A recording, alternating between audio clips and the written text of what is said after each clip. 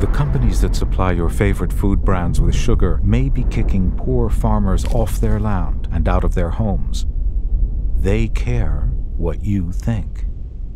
Tell Coca Cola, PepsiCo, and Associated British Foods to make sure their sugar doesn't lead to land grabs.